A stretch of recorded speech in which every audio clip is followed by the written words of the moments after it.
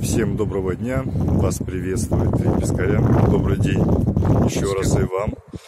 Рассказывайте, последние два дня интересно себя ведет осетр, как, что.